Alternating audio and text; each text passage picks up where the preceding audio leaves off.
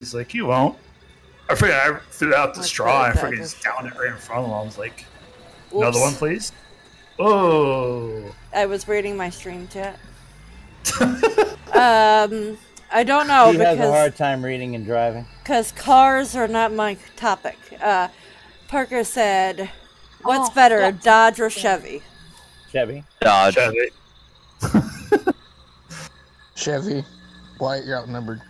Oh, I don't know. Well, first off,